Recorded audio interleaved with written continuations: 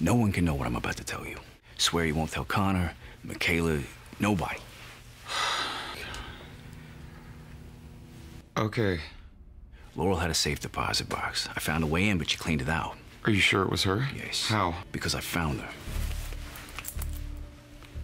It's from a street camera outside the bank. It's her.